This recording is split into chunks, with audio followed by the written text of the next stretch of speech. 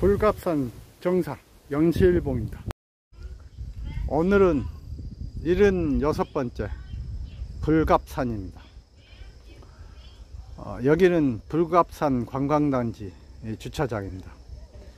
오늘이 지금 10월 1일이니까 어, 상사화 축제가 끝났는데도 어, 연휴 기간이라서 사람들이 많이 올 걸로 생각하고 아마 상점, 상점들이 있는 것 같습니다.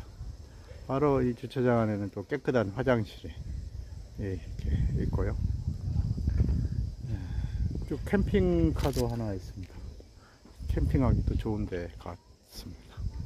자, 불갑산 정상을 해서 고고싱! 주차장에서 조금 올라오면 불갑산라는 절이 있어요. 여기는 불갑산입니다.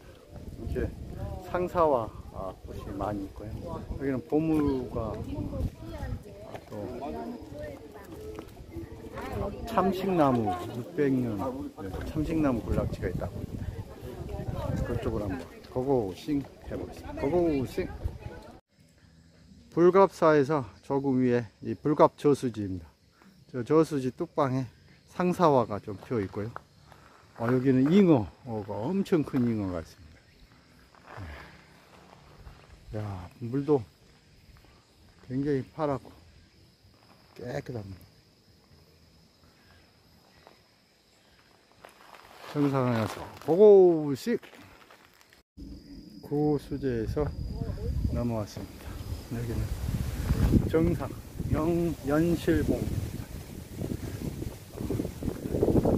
76번째 산 불갑산 주변 뷰를 보시겠습니다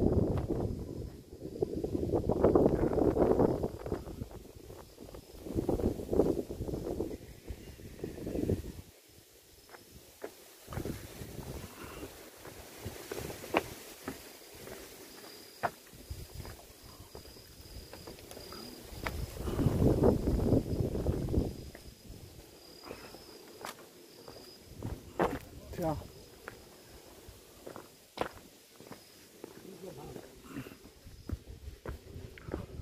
한평 최고봉. 어? 한평?